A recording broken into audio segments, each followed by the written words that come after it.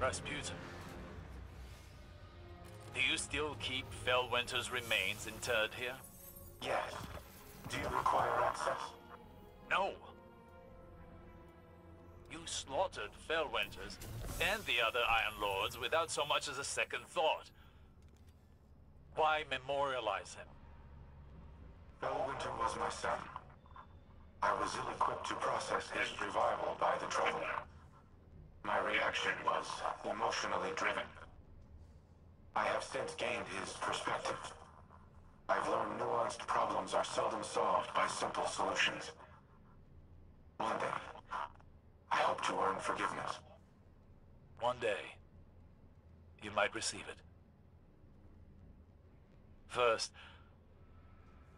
I will tell you what kind of a man he was. Not from his memories, but how his friends remember him.